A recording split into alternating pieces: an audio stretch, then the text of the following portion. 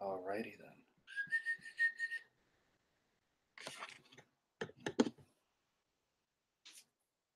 Okay, can you guys let me know if you can hear me?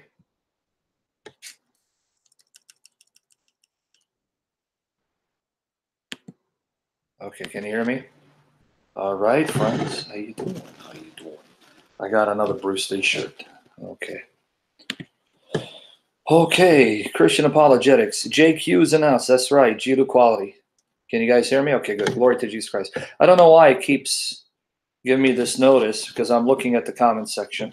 Let me see. Can you see me? Let me see. Hold on a second. How you doing, Enzo? How are you? Hi. Lord Jesus, loosen my tongue. Just see something. Hmm. Okay, good. Yeah, yeah. All right. Yeah. Yeah, I don't know why. I'm looking at the comment section. And when someone comments, it says show or hide. I don't know why it tells me that because most of you guys are kosher. Okay, I'm just waiting for the rest of the crew to show up by the grace and mercy of the Lord Jesus Christ. All right. Hey, Revelation 22, 13, how you doing? Just waiting for a few more faces because I know that Hatun is debating ultimate deception on the crucifixion. Colossal waste of time, if you ask me. Right. By the way, I got another Bruce Lee shirt real quickly. Let's see. Can you see it? See if you can see it. Let's see. Hold on. Jun Fan Gong Fu. There you go, Bruce Lee, right? Pray by the grace and mercy of the Lord Jesus Christ.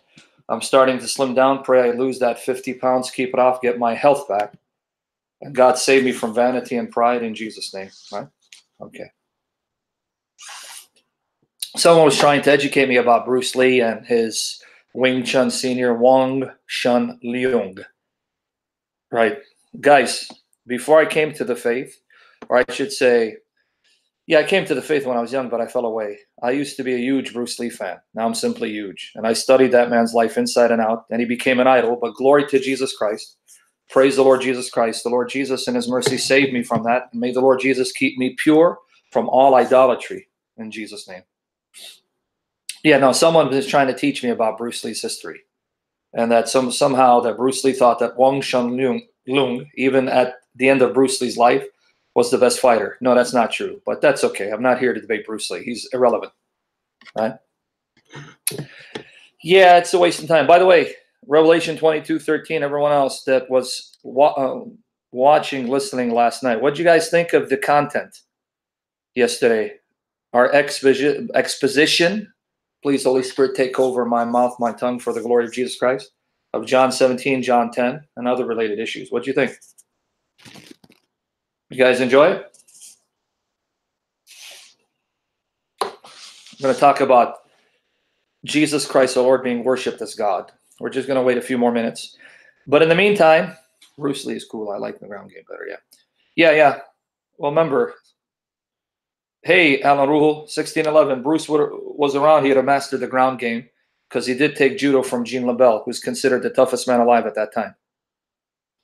Yeah, and guys, keep praying for me that the Lord Jesus gives me the holiness to make me righteous and pure and holy, to delight his heart to be completely in love with Jesus Christ. Right? Yeah, by the way, Zone Fighter, Burt Ward wasn't Bruce Lee's roommate. I know the story very well. Bruce Lee and Burt, Burt Ward met each other on the set of Batman because the producer of Batman, William Dozier, was the same producer that discovered, or I should say, was told about Bruce Lee and gave Bruce Lee the part of Kato. But it's okay, Zone Fighter. I'll forgive you for your errors because it doesn't matter if you're right or wrong about Bruce Lee. You got to be right about Jesus Christ our Lord. But let's put Bruce aside. Okay. Thank you, Adi Mek. Thank you for that prayer. That's right. Yep, student of Wing Chun. Yep, man. Have Yip Chun. Waiting a few more minutes, right? A few more minutes. And then we'll begin. And again, I want you to guys to pray for first last. Pray the Lord Jesus will preserve this brother, give him victory over his struggles, perfect health, provide for his needs, and pray for his mother and thank him because he's helping me to help you by posting verses, making it very easy for me in Jesus' name to do these sessions. So God bless him and thank everyone else who's an admin. Now, admins, just help me. If you see a troll, block him. If you see some Muslim trolls here or any other troll, blasphemous trolls, just block them because I want serious people here who really want to learn, even if they're not Christians. Look, you don't have to be a Christian to come to my channel. As long as you are serious to hear why we believe what we believe and receive answers that you're asking sincerely. Whether you become a follower of Jesus Christ or not, that's between you and Jesus Christ our Lord. Okay? Yeah. Well, Allah doesn't exist. Yeah, I have seen him. Okay, folks. Get ready, get set. And by the way, is the debate over? Did they finish debating on the other channel, DCCI?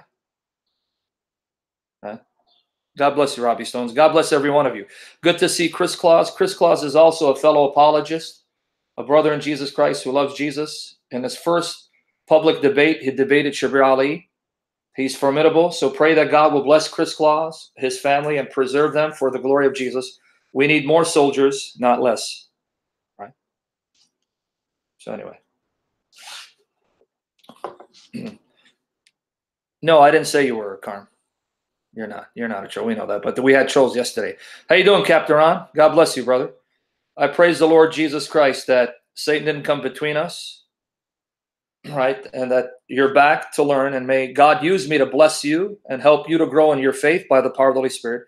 Because I love all of you and love you for the sake of Christ. And I want to be used of the Lord to bless you, not to cause you to stumble. May Jesus save me from my own imperfections.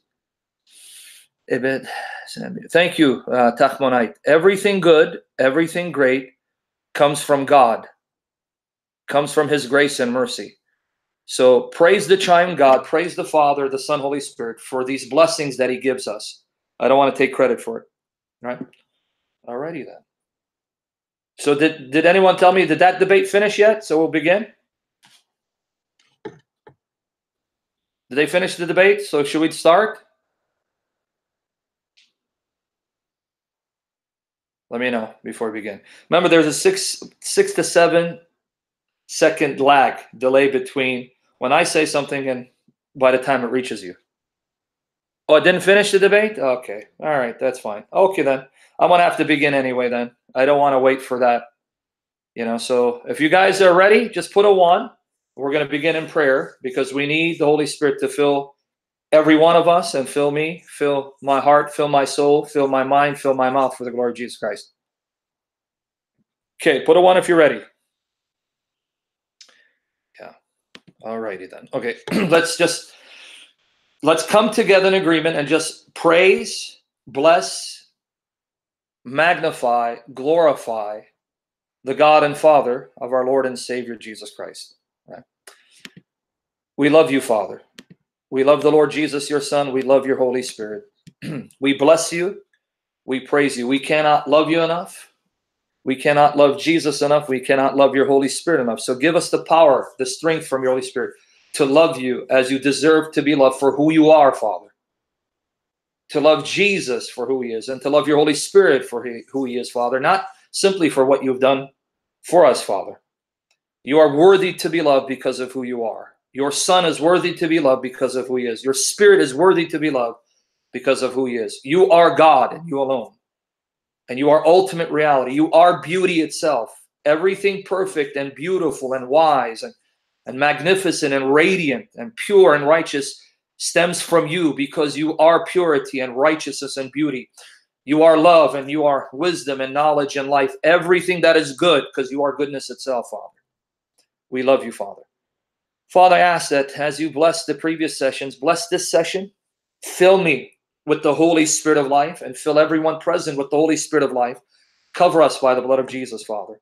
Wash us and purify us of our flesh and our sin by the blood of Jesus and forgive us, Father. Cover our loved ones. In my case, my precious angels. Cover them with the blood of Jesus. Cover even their mother with the blood of Jesus and save her for your glory, Father. And Father, fill my lungs and my chest and my throat, my body with, with life and health from your Holy Spirit. Loosen my tongue to speak truth without error. Grant me clarity of thought and speech and perfect recall of the scriptures, and bless everyone here to understand, Father. Open their eyes, their ears, their hearts, their minds to understand what your Spirit would have us understand, and give us the power to affirm the truths of Scripture and to live them out for the glory of Jesus, that Christ will increase in us and we will decrease. And to be used to convict Muslims to see who Jesus is. And Father, destroy all attacks of the evil one, distractions from the evil one. Keep us focused, Father, and save us from the evil one and his children. Surround us with a wall of fire from your Holy Spirit. We need you, Father. We love you. We need you and we love you, Lord Jesus. We need you. We love you, Holy Spirit. Have your way. Bless this session in Jesus' name. Amen. All right. Nuhibuhum Aizen. All righty then. Whatever that means. Okay. Are we ready? Good. All right. All right. We're going to continue refuting some of the assertions that Adnan Rashid made. One of the arguments he brought up, and we're going to address this specifically here, he claims that Jesus Christ our Lord and the prophets before him prayed, worshiped like Muslims do, so that Muslims resemble the prophets and Jesus Christ in their prayer posture, because he quoted verses in which the prophets, Moses and Abraham and even Joshua and Jesus our, our Lord would fall down and prostrate to the ground like Muslims do. Now, I'm going to demolish that argument and show you that they did not pray like Muslims do, and Muslims do not pray like the true prophets of God and Jesus Christ do. But I want to address that in the context of his assertion that Jesus Christ worshiped a unipersonal God, specifically the Father, and didn't worship the Trinity. I already addressed that in the first part, but we're creatures of repetition, folks. We have to hear something over and over again until by the grace of God's Spirit it becomes second nature. He said, if Jesus was a Trinitarian, why didn't he worship the Trinity? And you saw why I got upset and even laughed at that objection. Because that's probably the silliest objection I've ever heard. How can Jesus wor- worship the Trinity if he's part of the Trinity? Trinity? Do you want Jesus to worship himself? If Jesus is the Son of the Father who became flesh to fulfill the Father's will, and in becoming flesh, becoming a human being on earth, assumed the role, the status of a servant to the Father, right, to become a slave to his Father, then we'd expect Jesus as the perfect man to worship the Father. But why would he worship himself or the Holy Spirit when Jesus does not worship himself? That would be the height of arrogance and pride, right? Nor does he worship the Spirit because he didn't come to fulfill the Spirit's will. He didn't come to become a slave of the Spirit. He came to be a slave to the Father, fulfilling the Father's will in union with the Spirit. So the Spirit was with Jesus, empowering Jesus with the very power they share in common with the Father to accomplish the Father's will. So it makes sense biblically that Jesus would worship the Father as the perfect man, not the Trinity, unless you want Jesus to worship himself. You guys remember that objection? Yeah. Muhammad Kamaluddin, we've already addressed that in our rebuttals and sessions and articles. Your God prays, and you guys still don't know who he prays to, so don't distract us. But anyway, if you understand that, let me now turn the tables on him because he had the audacity to say that even in the book of Revelation, even in the book of Revelation, angels fall down and worship like Muslims do. So, you guys with me there? Guys, do me a favor. This is what the Muslims come to do. They try to distract you from focusing on the content so that you get into these side debates with them. Rebuke it in Jesus' name. Please, any any of you admins, Alan Ruhul or Revelation, help first and last. You can't do everything and help me silence them. Right? Okay, now let's talk about the worship in the New Testament. Now you understand the answer, right? You understand why Jesus did not worship the Trinity. What a silly, pathetic objection from Adnan, but I, I don't expect any better from him in light of the fact that he follows Muhammad. He's a Muhammadan. But you understand how to respond to that now, right? Is that clear? Jesus doesn't worship the Trinity because he doesn't worship himself, nor does he worship the Spirit. He comes to worship the Father as a perfect man because he's the Father's servant, working in union with the Spirit to accomplish the Father's will on earth, right? So is that clear? Okay, now let's now see whether Jesus is worshiped as God. In other words, we don't expect Jesus to worship himself. That's silly. That's pathetic. But do the very documents of the New Testament that Adnan appeal to show that Jesus is worshiped as God along with the Father? In other words, I don't need to show Jesus worshiping the Trinity for the Trinity to be true. What I need to demonstrate is the very writings that Adnan appealed to, the Gospels, the book of Revelation, because he mentioned Revelation, demonstrate that Jesus Christ receives the very worship that the Father does, not because he is the Father, but because he's truly divine, fully God in essence, and essentially one with the Father. One with the Father in essence and nature, right? Oh, yeah, I know, Carm. Let me make her an uh, uh admin. Carm, help us out, sister. Here you go. You're an admin now. God bless you. Right? Are you ready now to embark that journey where we're going to use the very books that Adnan used? And guys, I pray in Jesus' name, wake up and the Holy Spirit anoints my words to be pleasing to your ears. We're going to now unpack the breath of the New Testament witness to Jesus being worshiped as God with Jesus's express approval. Are you guys ready for that journey? Can we start with Revelation? because he's he mentioned Revelation. Well, you know what? Let's start at John. Let's go to John because he quoted John, right? We're going to start with with John. You ready? Okay. Does Jesus demand the very worship that the Father receives? Because, like the Father, he is God, not a secondary God, nor is he the person of the Father, but he's the divine Son who's one with the Father in essence, nature, glory, power, and dominion. Let's go to John 5, 20 to 23. I mentioned that the other day, but we're going to repeat it again. Follow with me, guys, and I pray the Holy Spirit will bless you and our minds will be blown with what the New Testament says. John 5, 22, 23. Okay, watch here. And thank first last for posting. For the Father judgeth no, no man, but hath committed all judgment unto the Son. For what reason? That all men should honor the Son even as they honor the Father. Did you catch it? The Father has appointed Jesus to be the judge of all flesh because the Father wants all flesh to realize that the Son determines their fate and that the Son therefore is worthy of the very honor that the Father receives. So the Father wants everyone to honor, and by the way, this is Jesus speaking. Uh, everyone to honor the Son even as they honor the Father. He that honoreth not the Son, honoreth not the Father which hath sent him. So notice what Jesus did not say.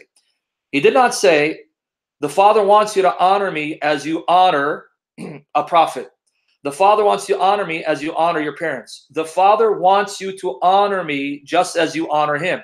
Now, the Father is God, and because he's God, we honor him by praying to him, by thanking him, by praising him, by glorifying him, by magnifying him by asking Him, invoking Him for our needs, by loving Him more than anything, more than our lives, more than our possessions, more than our relationships, and by be willing to die for Him. Did you catch it?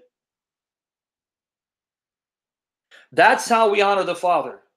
The Father is God, and the honor he receives is that kind of honor. Praying to Him, invoking Him, asking Him, thanking Him, praising him, lauding him, loving him more than our children, more than our spouses, more than our families, more than our monies, more than our lives, and being willing to die for him.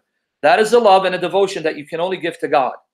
Jesus says, That is the way you are to honor me. You are to give me that same honor. You are to love Jesus more than anything, more than your own life, and be willing to die for him. you are to pray to Jesus like you pray to the Father. You are to invoke Jesus and ask Jesus for your needs like you do for the Father. You are to praise Jesus and thank Him and glorify Him in your prayers as you do the Father. No creature can demand that kind of honor because that would be blasphemy and idolatry. Now, let me prove to you that's the kind of honor that Jesus receives and Jesus demands. Are you ready now for the proof from Jesus Himself? You ready? Ready for the proof? I'm just waiting. Now, there's a delay, so I wait for the response to see if you're ready for the proof. All right, let's go to the proof. John 14, 12 to 14. Ask Holy Spirit just to full us and excite us to see how amazing Jesus is. Please, Holy Spirit, have your way. John 14, 12 to 14. John 14, 12 to 14. All right. Let's read. Verily, verily, I say unto you, he that believeth on me, Jesus speaking, whoever believes on me, the works that I do shall he do also, and greater works than these shall he do, because I go unto my Father. Pay attention. I want to have first and last post 13 and 14 again. But pay attention what he says in 12. You're going to do the same kind of works I've been doing if you believe in me, and a greater number of them. The same quality works, but you're going to do more of them than I've been doing. Because unlike Jesus, who limited himself to Israel, the disciples will sprout throughout the entire world, reaching more people, doing more miracles, more works. And he explains why. Because I'm going to the Father.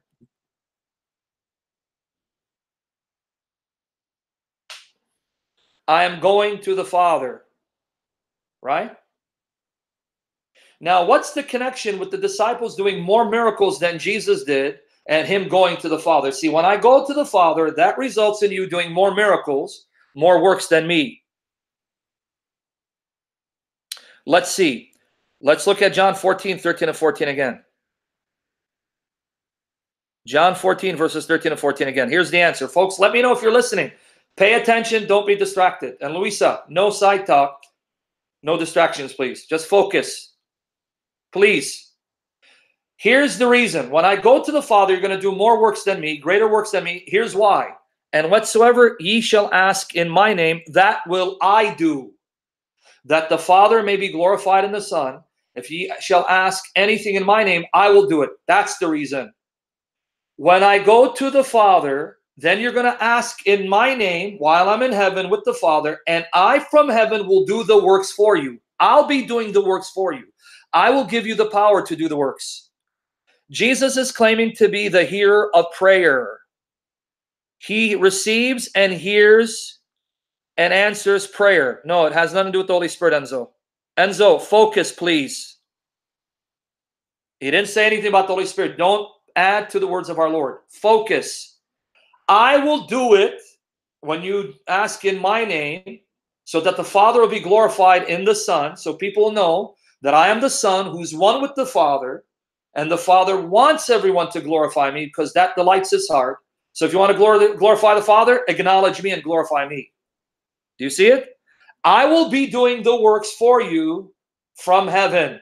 He's the here, the object of prayer for Jesus to be able to know who's praying to him, how many are praying to him, where they're praying to him, and then have the power to answer all those prayers, he must be omniscient, right? Omnipotent, all powerful, and present everywhere, right? So you understand? In that very gospel, Jesus shows, like the Father, we are to pray to him. Like the Father, we are to invoke him. Like the Father, we are to ask him. And like the Father, he answers prayers. Right? Both the Hebrew Bible and the Quran testify it is God that is the hero of prayer. Let's go to Psalm 65, verse 2. Psalm 65, verse 2. Psalm 65, verse 2.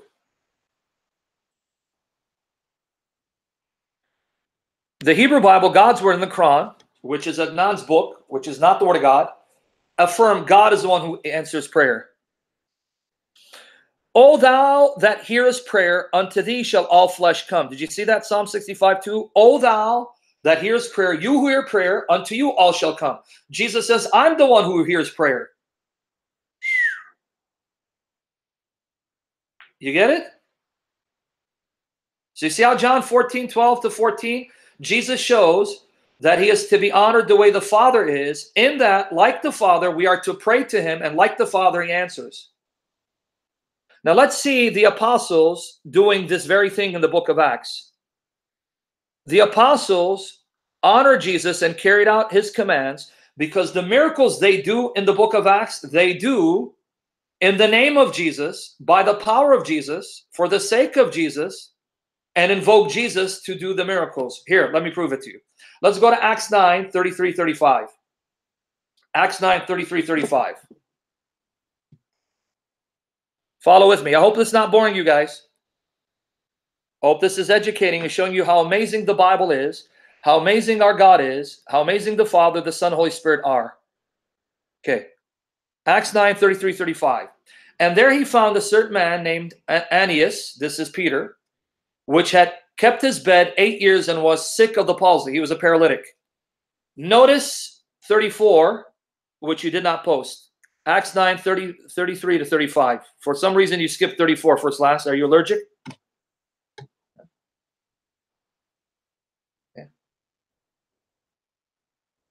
Acts 9 33 35. Start again from the beginning because you skipped 34, went to 35. Acts 9 33 to 35. Sorry, guys. Bear with us. We are humans and we are imperfect, even though I'm the closest thing to per perfection. Acts 9 33 35. Watch here. Yeah, I said Acts 9 33 to 35, my brother. I know you're trying to blame me. Don't be like Eve, your ancestor. Anyway, Acts 9 33 35. And there he found a certain man named Aeneas, which had kept his bed eight years and was sick of the palsy, meaning he was a paralytic. And Peter said unto him, Aeneas, Jesus Christ maketh thee whole. Arise and make thy bed. And he arose immediately. And all that dwelt at Lydda and Saron saw him and turned to the Lord. Did you catch it?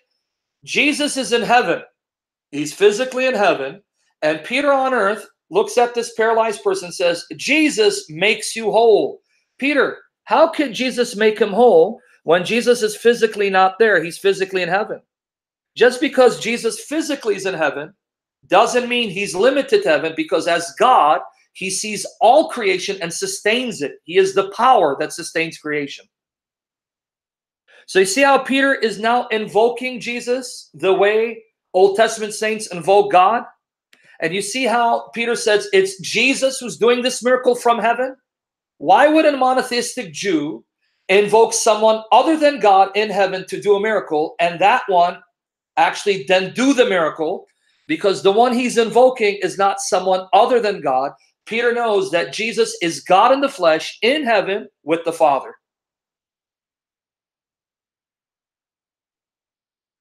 You got it? Acts 16, 16 to 18. Yep, he does. Jesus is in love with us, Jason. He loves us, adores us, and in love with in love us. Lord Jesus, loosen my tongue. Holy Spirit, rebuke all distractions. He's in love with us, and by the power of the Holy Spirit, we are in love with him. We love you, Jesus. We adore you. Acts 16, 16 to 18. Read with me. And it came to pass as we went to prayer, a certain damsel possessed with a spirit of divination met us which brought her masters much gain by soothsaying. The same followed Paul and us and cried, saying, These men are the servants of the Most High God, which show unto us the way of salvation.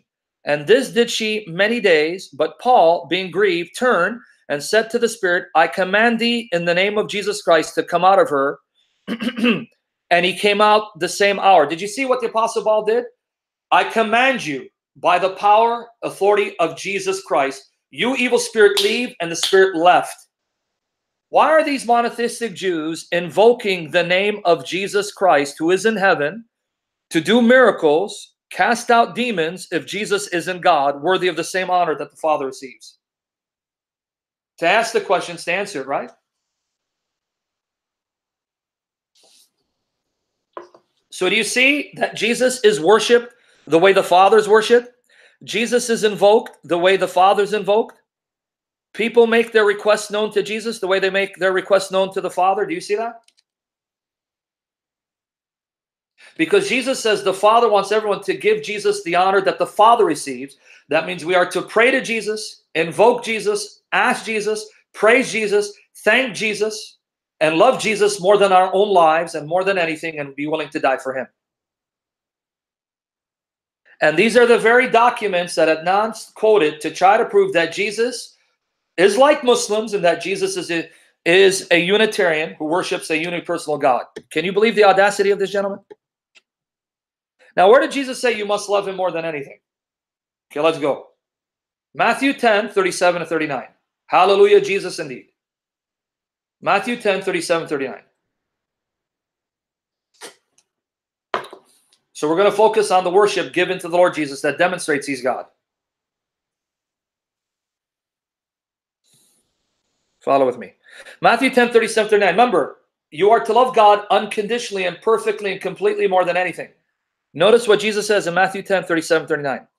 He that loveth father or mother more than me is not worthy of me. You can't love your parents more than me. And he that loveth son or daughter more than me is not worthy of me. And he that taketh not his cross and followeth after me is not worthy of me. He that findeth his life, you're trying to hold on to your life, you shall lose it.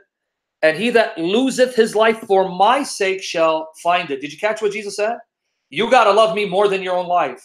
You got to love me more than your children. You got to love me more than your parents. You got to love me more than anything because you can't love anything as much as you love me or more than me. Who does Jesus think he is? You are to love God and God alone unconditionally.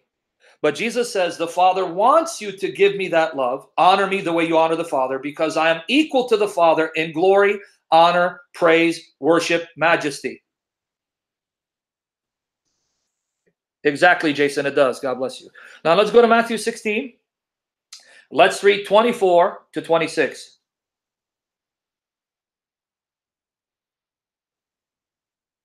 Matthew 16, 24, 26. Yes, they are, John Mark. They are simply recycled Jehovah Witness, Arian, anti-Trinitarian, Unitarian polemics. Matthew 16, 24, 26. Then said Jesus unto his disciples, If any man will come after me, let him deny himself and take up his cross and follow me.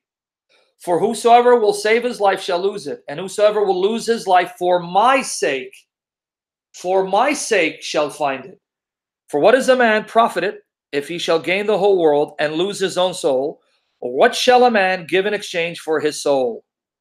So Jesus says, You need to be willing to suffer for me, be persecuted for me, die for me, and give up your life for me. Who does Jesus think he is?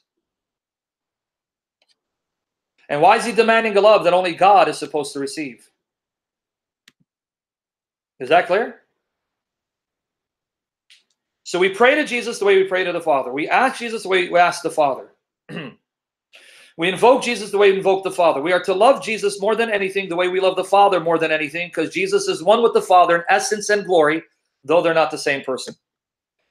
We're going to continue. We got a lot more. I'm just beginning. Okay, now let's go to the Old Testament and do a lot of cross referencing.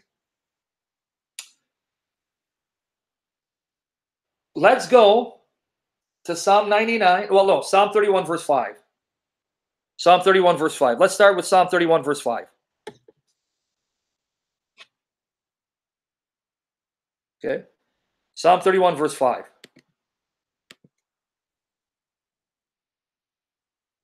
Qwerty, that's the gift of the grace of the triune God. May God perfect that ability to recall scripture and live it out for his glory. I get better at it for the glory of Jesus. So thank him. Okay, Psalm 31 5, read with me.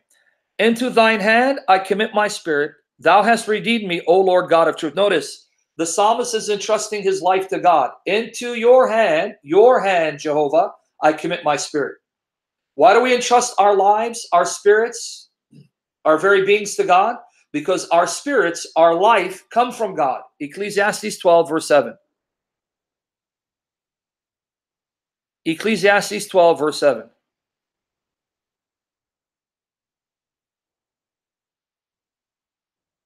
Watch here. Ecclesiastes 12, verse 7. Then shall the dust return to the earth as it was, and the spirit shall return unto God who gave it. So why did the psalmist say, Into your hands, Jehovah, into your hands, God, I commit my spirit? Because Ecclesiastes 12 7 says, The very spirit that animates our bodies, makes our bodies alive, comes from God.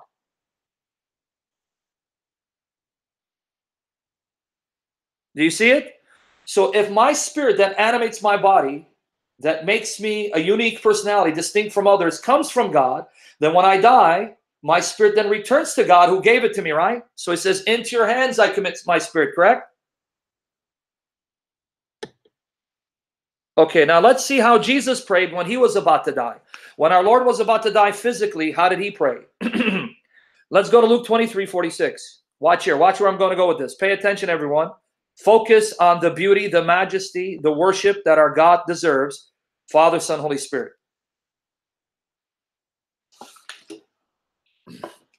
Orbiter high, we can see your text. Okay. Okay. And when Jesus had cried with a loud voice, he said, Father, into thy hands I commend my spirit. And having said thus, he gave up the ghost, the spirit. See what Jesus did? When he's about to die, he then surrendered his spirit into the hands of the Father, entrusting his spirit to the Father, and then he gave up his spirit. Do you guys see that, right?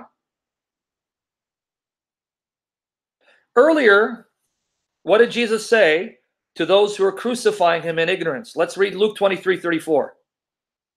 Luke 23 34. What did our Lord say to those who are crucifying him in ignorance, not knowing who he was, not knowing any better? Luke 23 34. Watch here. Watch here. It's going to get more marvelous, Rob. Then said Jesus, Father, forgive them, for they know not what they do. And they parted his raiment and cast lots. So, Father, forgive these Romans who are crucifying me. They don't know what they're doing. They don't know any better. And they cast lots for his raiment. Father, into your hands I commit my spirit. And he gave up his spirit. Now let's go to Acts 7 59 to 60. Acts 7 59 to 60. Acts 7 59 to 60. Amen, Kafir. I pray the Holy Spirit will get us excited, fill us with such love and joy for Jesus. We start sh shouting and dancing for Christ. Acts 7 59 to 60. And they stoned Stephen, calling upon God and saying, Lord Jesus, receive my spirit. Lord Jesus, receive my spirit. Stephen, the first Christian martyr, a Jew, when he's about to die, prays to Jesus, says, Lord Jesus, my spirit is yours. And then notice 60. And he kneeled down and cried with a loud voice, Lord, lay not this sin to their charge. And when he had said this, he fell asleep. Did you catch it? Stephen, a Jew, at the moment of death, cries out, Lord Jesus, I entrust my spirit to you, Lord Jesus. You're in heaven. My spirit is yours. And Lord, don't hold this sin against them. Why is Stephen praying to Jesus the way Jesus prayed to the Father when Jesus was on the cross? Why is Stephen a Jew praying to Jesus the way the Old Testament saints prayed to Jehovah? Why is Jesus, Stephen, entrusting his very life, his spirit to Jesus in heaven, the way Jesus entrusted his spirit to the Father, and the way the Old Testament saints entrusted their spirits to Jehovah? Why? And these are the books that Adnan wants to quote to prove that Muslims resemble Jesus? Exactly, Medic, because Jesus is Jehovah, Jehovah God the Son. Let's go to Psalm 99 and read 6 to 8.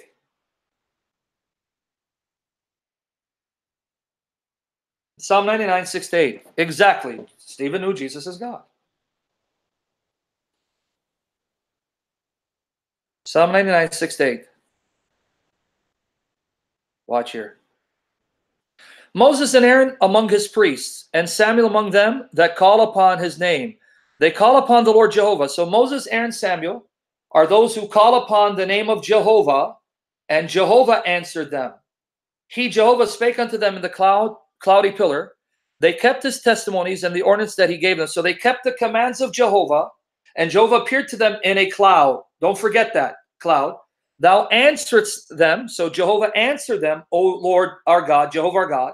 Thou wast the God that forgavest them. So Jehovah forgives, though thou took his vengeance of their invention. So did you catch it?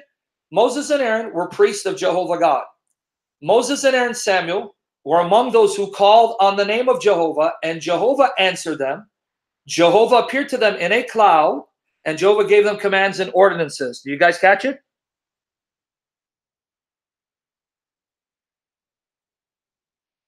Do you see all that? Samuel the prophet, Moses and Aaron the prophets, called upon Jehovah, called on the name of Jehovah, and he answered them, and Jehovah appeared to them in a cloud, gave them commands. And Moses and Aaron were priests of God. You sure you caught it? Whose name did they call on? On the name of Jehovah. Who appeared to them in a cloud? Jehovah did. Who gave them commands and ordinances? Jehovah. Okay. First Corinthians chapter 1, verse 2. You got it, medic. First Corinthians chapter 1, verse 2.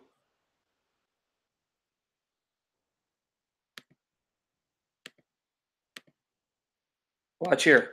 First Corinthians chapter 1, verse 2. See if you catch it. They called on the name of Jehovah. They called on Jehovah. He answered. Watch here. Let's read. Unto the church of God, which is at Corinth, 1 Corinthians 1, verse 2, to them that are sanctified in Christ Jesus, called to be saints, with all that in every place, call upon the name of Jesus Christ our Lord, both theirs and ours. Did you catch it? Paul says Christians are characterized, are known for this practice. No matter where you find Christians, Christians everywhere call upon the name of Jesus Christ our Lord. Do you catch it?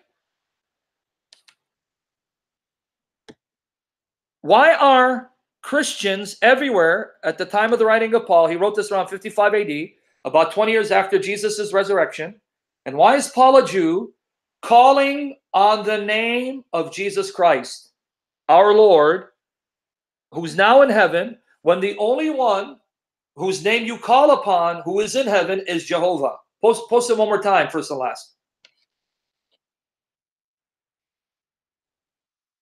One more time. I don't know if you guys are catching it. Hopefully you are.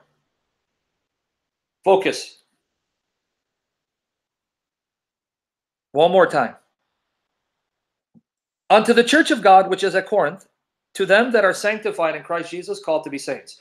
With all that in every place, call upon the name of Jesus Christ our Lord, both theirs and ours. Why are the Christians everywhere calling on the name of Jesus Christ our Lord who is now in heaven, when the Old Testament says true believers call on the name of Jehovah. Hmm. Not only that, it says Jehovah answered them. And I gave you examples from Acts, and Jesus himself, he answers those who call upon him. But then it says Jehovah appeared to them in a cloudy pillar. You remember that?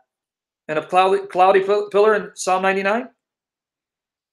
How does Jesus appear? Let's go to Acts 1, verses 9 to 11. Acts 1, Acts 1, verses 9 to 11.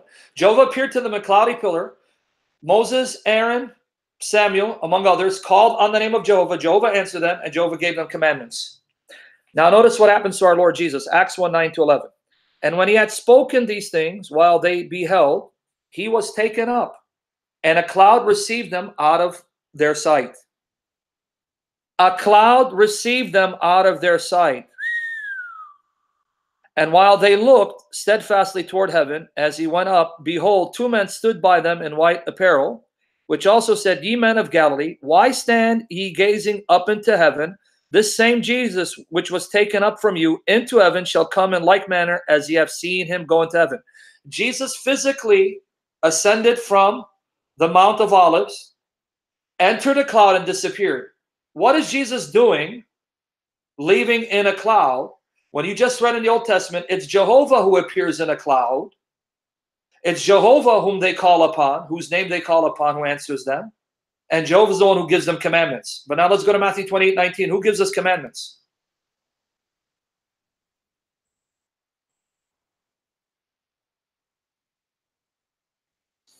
No, because first and last has perfected the science of posting fast. You guys are not lagging. You're okay. Right? Matthew 28 19.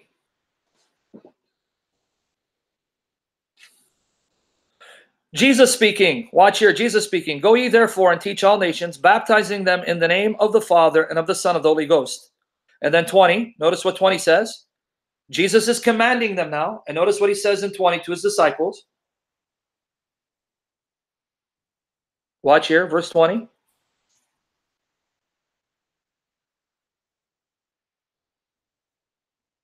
To wait. Teaching them to observe all things whatsoever I've commanded you. Teaching them to observe all things whatsoever I have commanded you. And lo, I am with you always, even unto the end of the world. Amen. So wait, Jesus gave his followers commandments, ordinances to follow and teach others to follow. Jesus leaves in a cloud and will appear in a cloud when he returns. Jesus is the one whose name they call upon, who answers prayers everything that Psalm 99, 6 to 8 applied to Jehovah. Jehovah appears in a cloud. Jehovah gives commands and ordinances. It's Jehovah's name whom they call upon, and Jehovah answers. And then it said Moses and Aaron were Jehovah's priests. But let's go to Revelation 20, verse 6.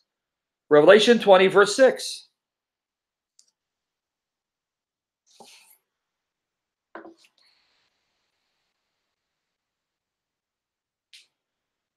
We're going to have fun with the worship given to our Lord Jesus Christ.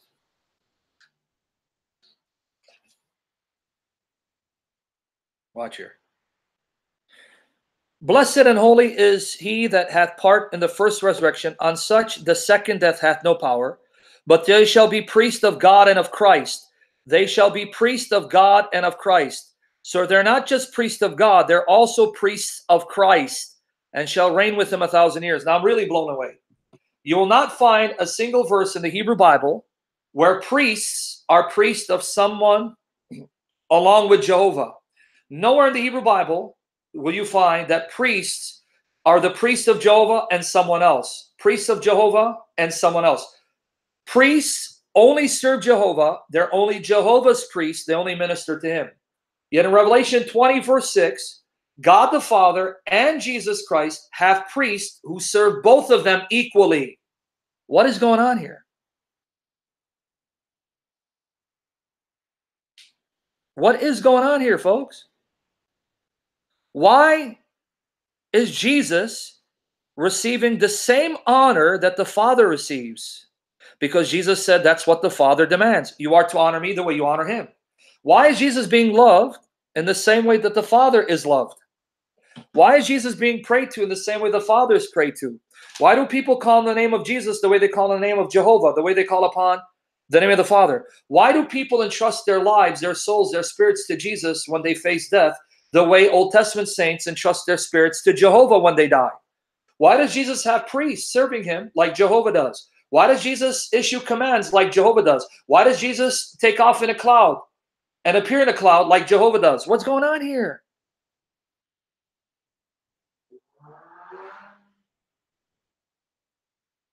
Can you explain that to me? What's going on? And then Adnan Rashid had the audacity to use the New Testament, specifically the Gospels, particularly the words of Christ to show Muslims resemble Jesus because they pray like Jesus, and Jesus worshiped a unipersonal God. Really? Seriously? Revelation 22 13. Are you here? Trucking with me? Actually, it's Revelation 22 3, I believe. They're both good passages, 13 and 3. Is it clear? Before I move on, I want it to sink in. I don't know if it's sinking in for you guys. Could Jesus and his followers be any clearer that Jesus is God worthy of the same worship that the Father receives? So Jesus doesn't have to worship himself because that would be foolishness. Yes, he can worship the Father because he's not the Father. He's also the perfect man, the perfect human being, and the perfect human being worships God. But the same New Testament shows that Jesus is worshiped the same way the Father is worshiped.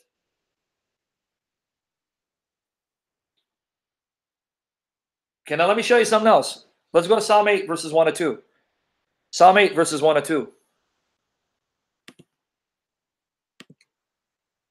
Psalm 8, verses 1 to 2.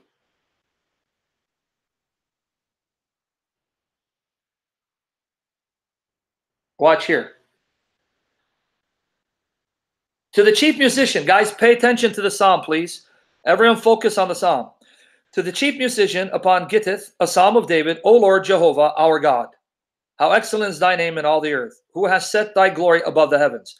Out of the mouth and babes and sucklings hast thou ordained strength, because of thine enemies, that thou mightest still the enemy and the avenger. Let's read Psalm 8, verse 2 one more time. Let me unpack it for you.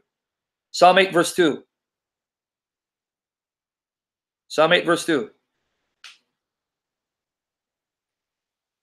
One more time, because I'm going to show you what the psalmist is saying. Out of the mouth of babes and sucklings hast thou, Jehovah, you have received from the mouth of babes and sucklings, infants, who supposedly don't know any better. You receive from them strength because of thine enemies, that thou mightest still the enemy and the avenger. Hold on, let's see why I'm getting text. Okay. In Jesus' name, may the blood of Jesus cover first and last, and the Holy Spirit seal first and last, and rebuke the attacks of the enemy. In Jesus' name, we command you to leave. In Jesus' name. All right. First, last, let me know if you're okay now. In Jesus' name, leave him alone. First, last is covered by the blood of Christ. okay, now, Psalm 8, verse 2. I want you to catch this. What the psalmist is saying is that Jehovah's enemies refuse to worship him, refuse to acknowledge him, refuse to praise him. So, what did Jehovah do? Pay attention here. What did Jehovah do?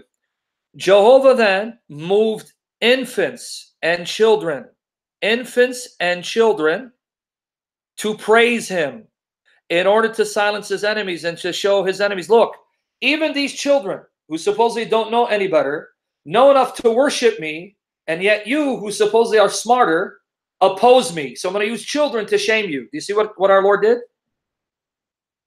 What our Lord is doing?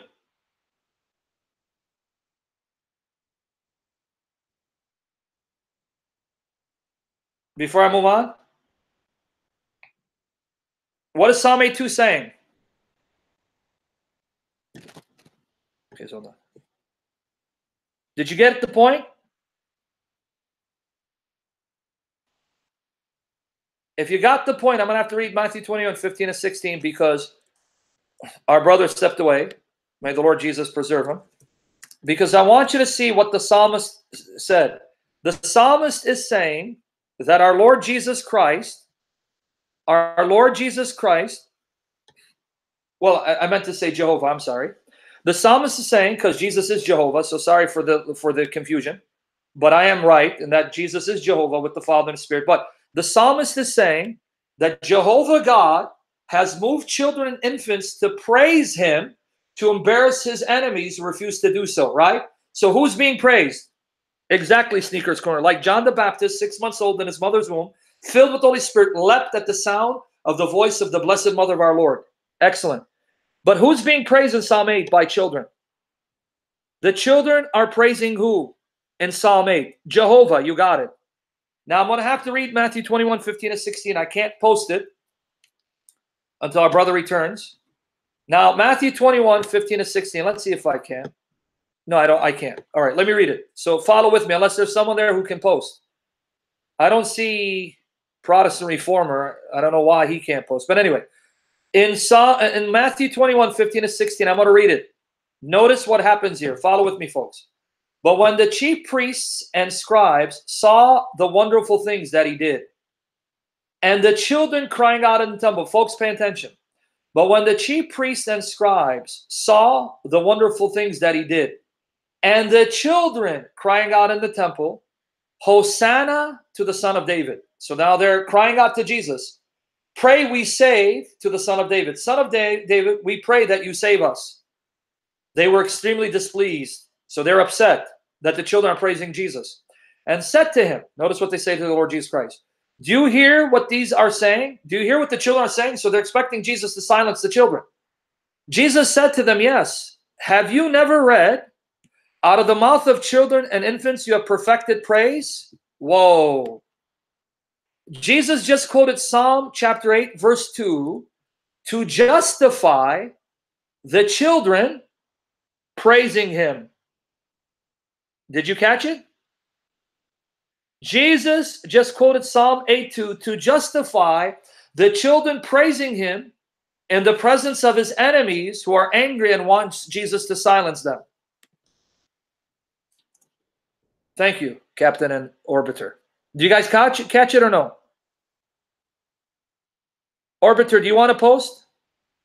Put a one if you do until he comes back. If you can, before I move on. Okay, Orbit is going to post for us. Thank you, brother, until he comes back. So you understand what Jesus just did? I don't know if it sunk in. I don't know if you got it. Jesus said, why are you basically shocked at children praising me? Doesn't the psalmist say that's what children will do? Children will praise me?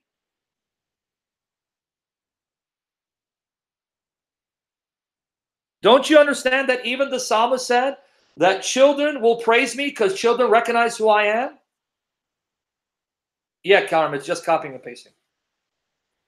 But hold on, Jesus. That psalm you quoted, it's not about praising a creature. It's children praising, glorifying God to silence his enemies. How then can you quote a psalm about children praising God to justify children praising you to silence your enemies unless you're God? Do you catch it or no? I don't know if you caught it. Psalm chapter 8, verses 1 to 2, basic technique. Specifically, Psalm 8, verse 2.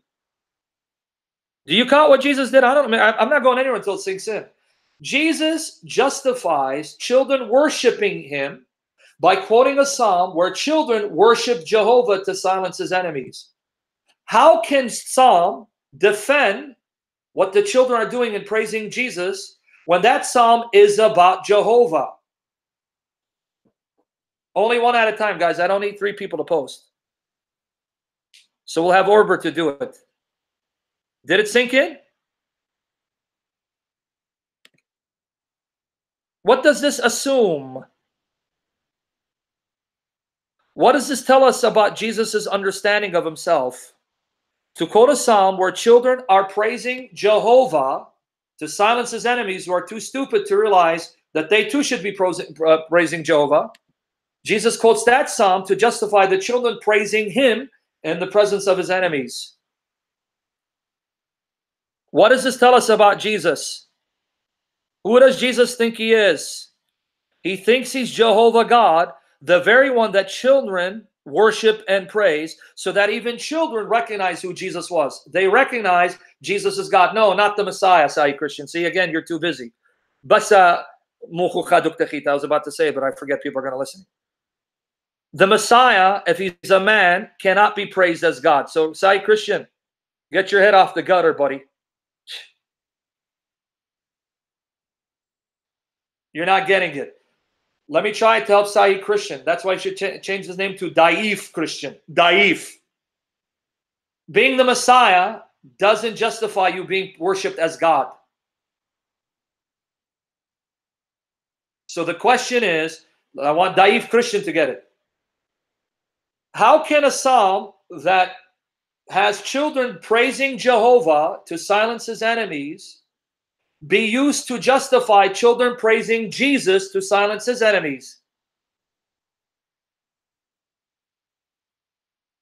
Let's see if, if Daif Christian's going to get it. Okay, hold on. I got to put that on. Sorry, guys. The charger. Oops, sorry. I'm going to lose it. In Jesus' name, may the Lord protect us. Hold on, guys. Sorry. I'm about to lose. The battery's about to die. See? Attacks of the enemy, but we're covered by the blood of Jesus. And the Lord Jesus rebuked the evil one. All right. We're all getting attacked. Okay, is that clear? This took me much longer than I needed to take. That Jesus can justify the use of the psalm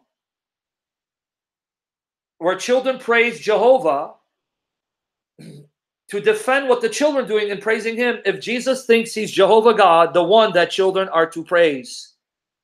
And even the children knew who Jesus was because they praised him. So if that if you got that part, if you got that part, we can move on. And this is Matthew 21, 15 and 16. Matthew 21, 15 and 16. So if you got that part, we can move on to other parts, showing that Jesus is worshipped the way the Father is worshipped. Jesus is worshipped the way Jehovah's worshipped.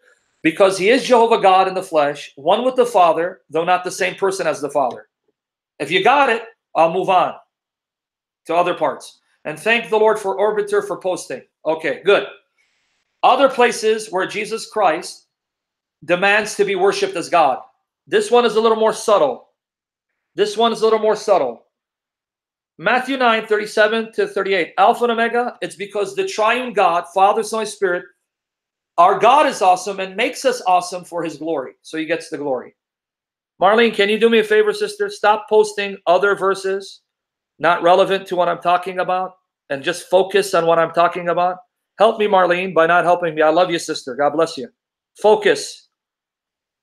All right, Matthew 9, 37, 38.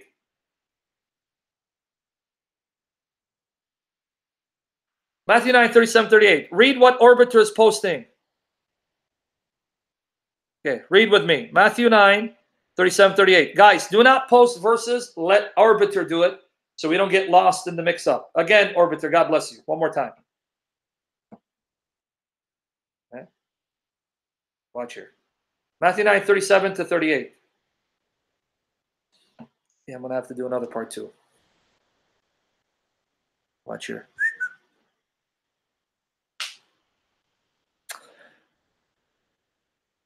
You got to post them back to back, Orbiter. So we're going to wait for you again. Matthew 9, 37 and 38. Sorry about that. Sorry for the for the delay, folks. I can read it, but when someone posts it and you can see it for yourself, it helps. But I can read it. I can go to the Bible Gateway and read it for myself. You know, this is what happens. Matthew 9, 37 and 38. Okay, I'm going to read it now. Okay, read with me. Or I'm going to read it out loud, I should say, because I don't want to delay too much.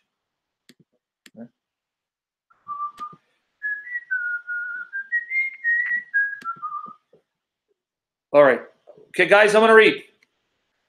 Then Jesus said to his disciples, He said to his disciples, The harvest truly is plentiful, but the laborers are few. Therefore, pray to the Lord of the harvest that he will send out laborers into his harvest. So now Jesus says, The harvest is ready to be harvested. We don't have enough workers. Pray to the Lord of the harvest. Ask the Lord of the harvest, the Lord who owns the harvest, to send out workers, right? Do you see that? That's Matthew 9 38. Orbiter's taking too long, so we're going to have to can him. Sorry, you, you're fired, buddy. Okay, so who do you pray to? The Lord of the harvest, right? Pray to the Lord of the harvest, and the Lord of the harvest will send out workers in the harvest to harvest the field, correct? You guys got that part? Okay. Do you guys get that part? I got to make sure, guys, we can't be delaying too long. I'll have to then stop it here and come back later. You got it? You are to pray to the Lord of the harvest, and he'll send out workers. Now, in the very next chapter, Matthew 10, verse 1, guess who's sending workers into the harvest? Watch here. Matthew 10, verse 1. He called his 12 disciples to him and gave them authority over unclean spirits to cast them out and to heal all kinds of sickness and all kinds of disease. Let me post it again. Right after telling them, ask the Lord of the harvest to send workers, bam, the very next chapter. Remember, in the original manuscripts of the New Testament, there are no chapter divisions. Jesus sends them out into the harvest. Matthew 10, 7 to 8. Watch here. Matthew 10, 7 to 8. As you go, preach, saying, The kingdom of heaven is at hand. Heal the sick, cleanse lepers, raise the dead, and cast out demons. Freely you ever see, freely give. He called his 12 disciples, so he sends them out, 12 disciples, gave them authority over unclean spirits to cast them out, to heal all kinds of sickness and all kinds of disease. Did you catch it? Jesus then summons the 12 to himself, sends out the 12, and then gives them power to heal the sick, cleanse lepers, raise the dead, cast out demons, and preach the gospel. Did you catch? I don't know if you guys caught it. Are you catching it or no?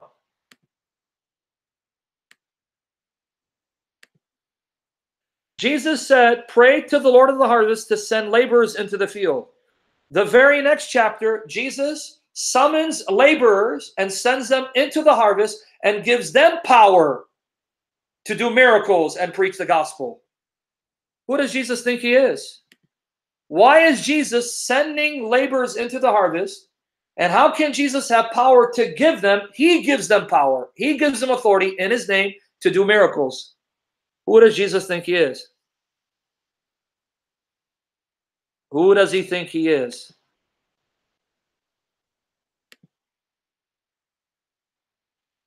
Who is Jesus? Then, in the context of Matthew 9 37 38, who is Jesus? Pray to the Lord of the harvest. Pray to him to send laborers. Next chapter, Jesus is the one who's sending laborers into the harvest. Roscoe got it. Jesus is the very Lord of the harvest. Sneakers Corner got it. Jesus is the very Lord of the harvest who sends workers into his harvest and gives them power to harvest. You guys got it now? So Jesus is the Lord of the harvest. We are to pray to him, the Lord of the harvest, to raise up laborers, empower laborers, enable laborers to harvest his, his field.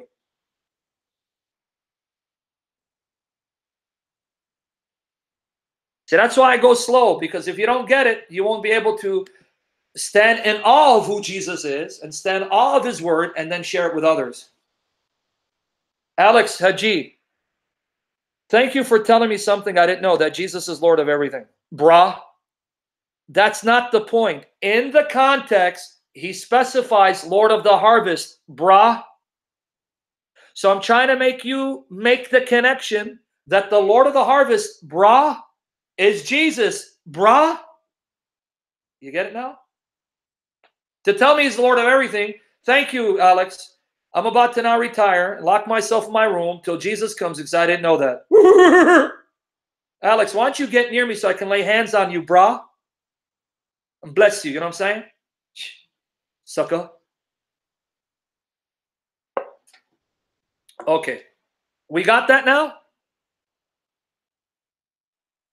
So Jesus says, I'm the Lord of the harvest. You can pray to me. Jesus says, when I go to the Father, once in heaven, you can ask in my name, and from heaven, I will do all the miracles through you and for you to bring glory to my Father and me. In the book of Acts, they're healing the par- paralyzed, the sick, raising the dead, and casting out demons in the name of Jesus, by the power of Jesus, for the sake of Jesus. Stephen, when he's about to die, says to Jesus, Lord Jesus, I entrust my spirit to you, and Lord, forgive them. Praying to Jesus the same way that the Old Testament saints would pray to God and entrust their spirits to God at the moment of death. And then Jesus has priests and believers call on the name of Jesus, like the Old Testament saints called on the name of Jehovah, who had priests serving him. And Jesus rides in a cloud like Jehovah does.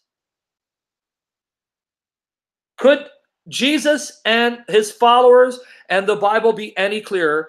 Jesus is worthy of the same love, devotion, and worship that God receives because he's God in the flesh. I got more. I'm not done yet.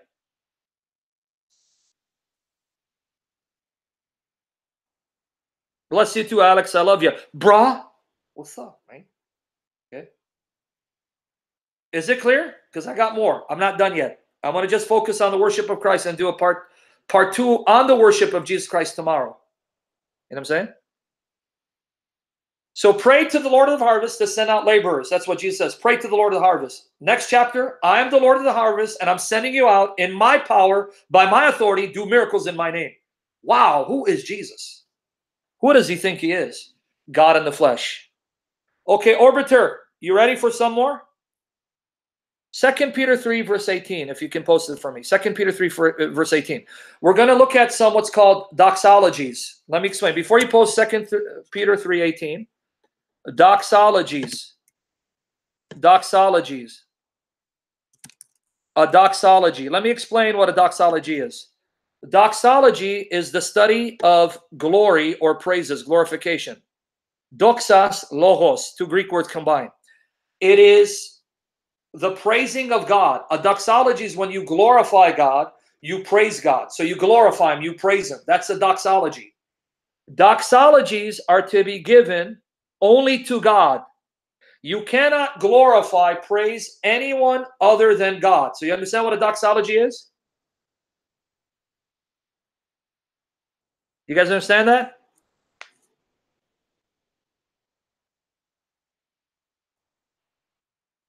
Do you understand what a doxology is? Before I move on, doxology is glorification, glorifying God, praising God in prayer.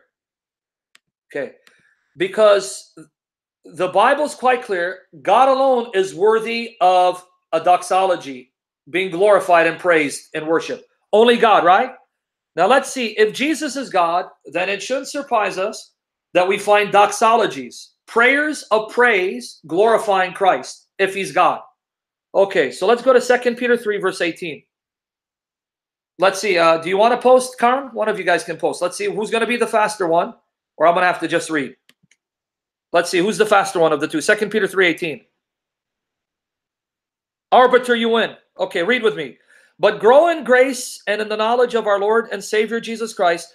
To him be glory both now and forever. Amen.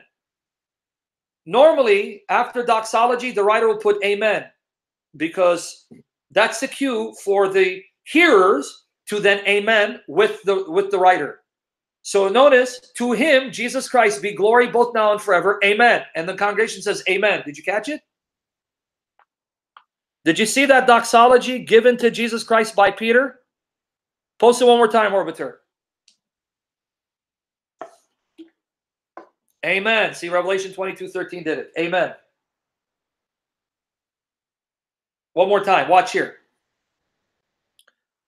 Why is Peter offering a doxology to Jesus Christ and expecting others to amen that doxology if Jesus is not God worthy of worship? Here goes again. Read with me. But grow in grace and in the knowledge of our Lord and Savior Jesus Christ. To him be glory both now and forever. Amen. You caught it?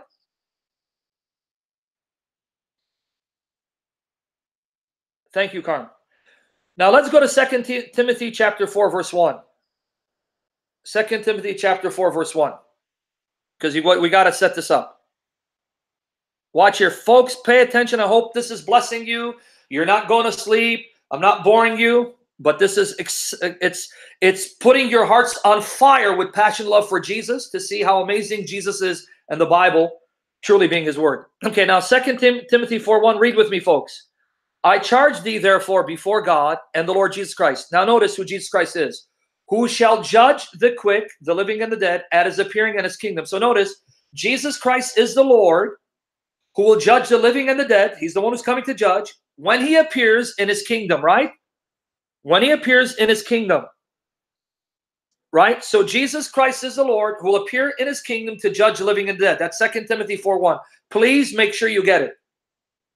Second Timothy 4, let's read 6 to 8. It's verse 8, but I want to read 6 to 8. Yep, Jesus is amazing. He's infinitely amazing. Alex, you my bra, man. What's up, Esse? All right, Second Timothy 4, verses 6 to 8. Hit that like button, man. Let's make my YouTube channel blow up for the glory of Jesus and pray for that support to come in the Lord financially support the ministry. I continue to do ministry till I die or until Christ comes because he's worthy. He doesn't need me. I need him. Second Timothy 4, verses 6 to 8. Read with me. Thank you, Arbiter. Please read. For I'm now ready to be offered, and the time of my departure is at hand. I have fought a good fight. I have finished my course. I have kept the faith. Now, guys, pay attention, verse 8.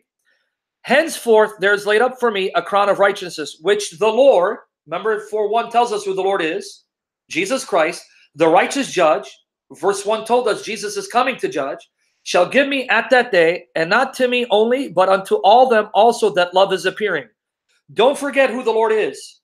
Verse 1 of this chapter said, Jesus Christ is the Lord who will judge the living and the dead when he appears in his kingdom. So Paul is saying that Lord will give me a crown of righteousness because he himself is the righteous judge and he's going to give it to me when he appears, and he'll give it to everyone who loves his appearing.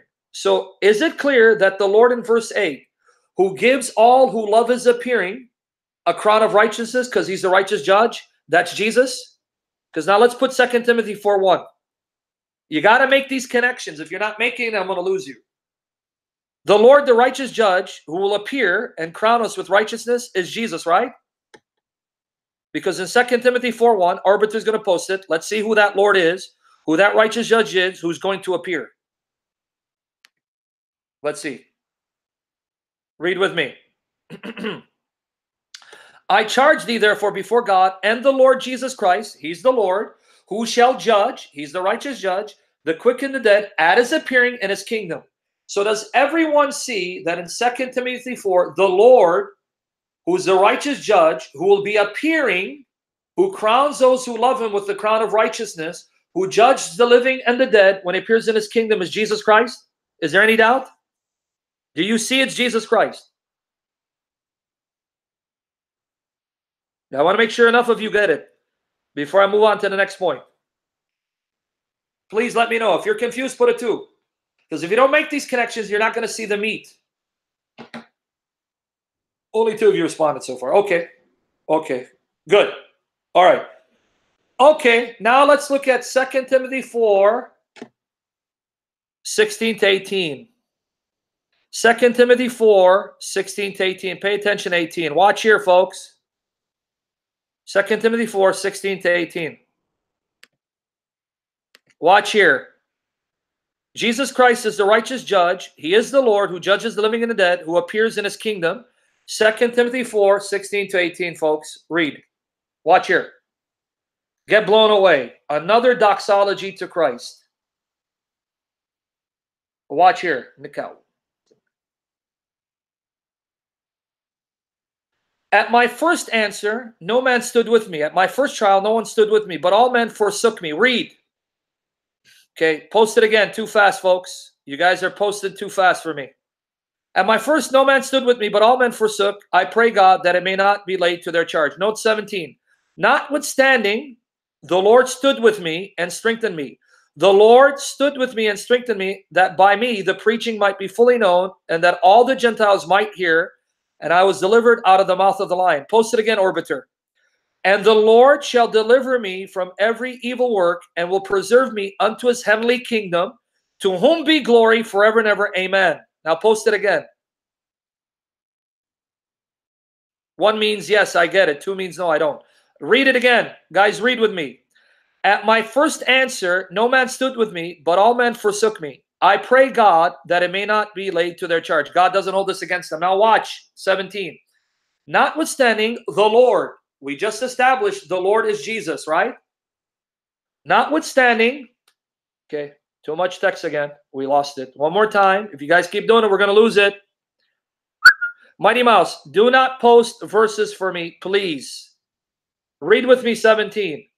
Notwithstanding, the Lord stood with me. We saw in verse 1 and 8, that Lord is Jesus. The Lord Jesus stood with me, Paul, and the Lord Jesus strengthened me in my trials, that by me the preaching might be fully known, and that all the Gentiles might hear. And I was delivered out of the mouth of the lion. Notice 18, that Lord Jesus who stood with him, strengthened him, and saved him, who is the righteous judge who crowns believers with the crown of righteousness when he appears in his kingdom. Notice what he says about him in verse 18. And the Lord shall deliver me from every evil work. Jesus is our Lord who will deliver us and preserve us because he's all powerful and will preserve me unto his heavenly kingdom. Don't forget who that is. Second Timothy 4 1. Jesus' kingdom, to whom be glory forever and ever. Amen. Did you catch it? Not only does Paul say Jesus Christ is the righteous judge, Jesus Christ is Lord, Jesus Christ will appear in his kingdom, and Jesus Christ will crown everyone who loves his appearance and loves him with a crown of righteousness. He just said that Jesus Christ is the Lord who stood by me in all my trials, who strengthened me, who saved me, and will keep me in love with him so that he'll bring me into his kingdom and to him be the glory forever and ever. He ends it with a praise glorifying Jesus Christ.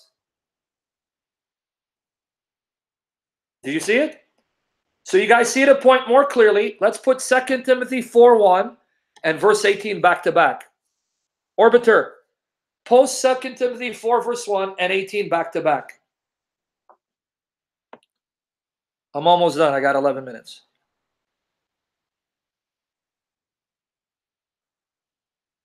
Watch here.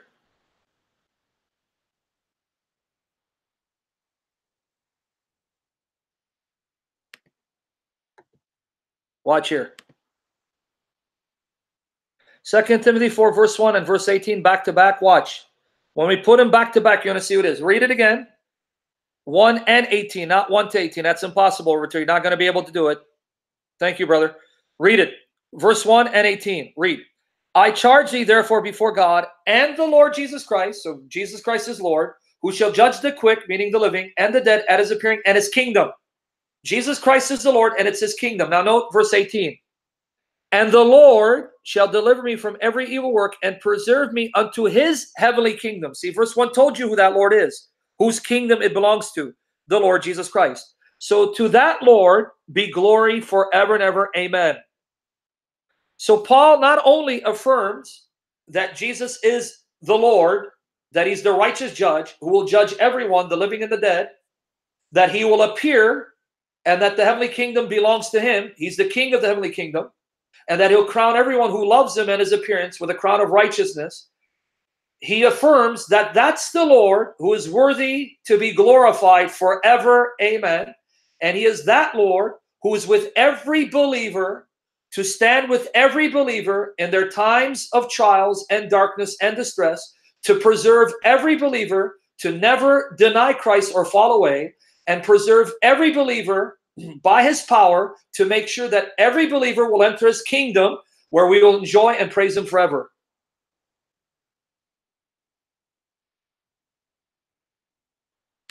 Did you catch it or no?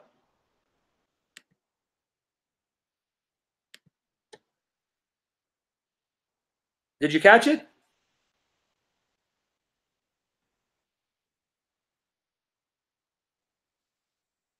I don't know if it sunk in. I don't know if you guys it sunk in for you guys.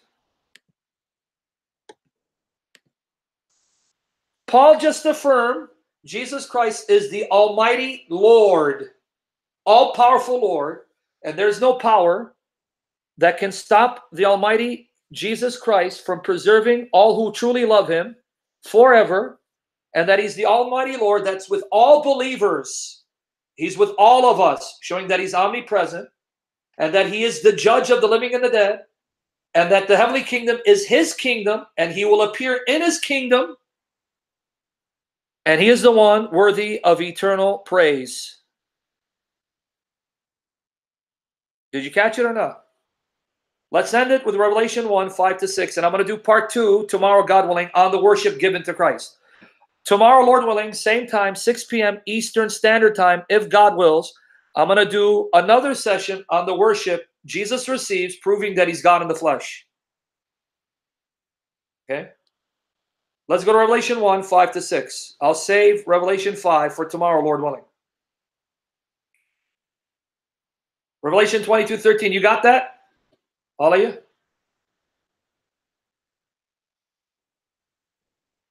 Okay.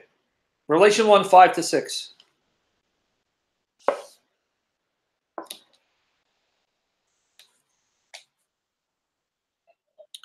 Let's end it. Revelation chapter 1, verses 5 to 6.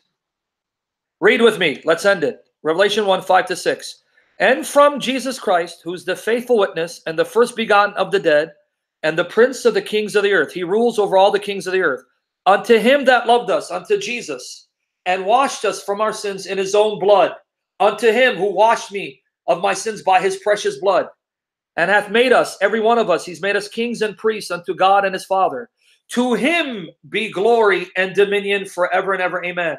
To him, Jesus Christ, the prince of all the kings of the earth, the ruler of all the kings of the earth, Jesus Christ, who washed us in his blood to make me a king, serving his God and Father. To Jesus be glory and dominion forever and ever. Amen. Glory and dominion forever and ever. Amen. Did you catch it? That's a doxology. That's a doxology. Karm posted it again. Revelation 1 6 and has made us to be a kingdom and priest to serve his God and Father. To him be glory and power forever and ever. Amen. Why is Jesus Christ our Lord receiving doxologies? Why did Peter, why did Paul, why did John, Jews who knew the Old Testament and knew that only Jehovah is worthy of a doxology, offer doxologies, prayers of praise and glorification to Jesus Christ when only God is worthy of doxologies. David Doss, don't ask me a question not related to the topic. Sorry, brother. That shows you misunderstand what it means to rise from the dead. Did Lazarus rise immortal or rise to temporary life only to die again? David, answer that. When Lazarus was raised, and he wasn't the only one that Jesus raised, was he raised immortal or raised to his temporary earthly life to die again? Let me make it quick. Real quick. Hold on. I don't want to answer, but I'm going to answer because I feel bad for David Doss, especially with a name like Das. Just kidding. Okay. How is that like Jesus' resurrection? When Jesus was raised immortal, he's the first one to be raised to physical, immortal life, never to die again. You're comparing apples and pineapples. I hope that answered your question. All right, was that clear? Jesus Christ receives doxologies. He is to be glorified and praised forever and ever by every creature. Jesus Christ is to be prayed to the same way we pray to Jehovah. You are to ask Jesus, invoke Jesus, praise Jesus, thank Jesus, call upon the name of Jesus, love Jesus more than life, more than your own life, more than anything. Be willing to die for Jesus, obey Jesus, and Jesus is to be called upon. You call on his name. Jesus, like Jehovah, rides in a cloud. Jesus, like Jehovah, has priests serving him. And Jesus, like Jehovah, has servants entrusting their spirits into his hands at the moment of death because Jesus is Jehovah God Almighty in the flesh, our creator, our life giver, our sustainer, our judge, our savior, who is worthy of all praise and honor, one with the Father and the Spirit. That's why we're Trinitarians. We love you, Lord Jesus. Lord, forgive me for any mistakes I made. Please, Lord Jesus, correct any mistakes. I don't repeat them. Cover every one of us by your precious blood, Lord Jesus. Cover my daughters by your blood. Save them. Fight for them, Lord Jesus, and provide for me to do this work for your glory. And Lord Jesus, bless everyone present and fill us with your spirit to fall more in love with you and save us from the world and its influence. Save us from our flesh, our sinfulness. Save us from Satan. And help us to love you the way you deserve to be loved. And we need you, Lord Jesus. You know what my needs are, Lord. Please provide for your glory. Christ has died, Christ has risen, Christ will come again. Jesus Christ is Jehovah to the glory of God the Father. Amen. Come, Lord Jesus. We love you. Amen.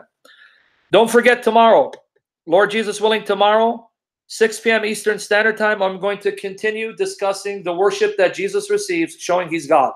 Don't forget, folks, I'm going on a road trip May 12th to May 19th.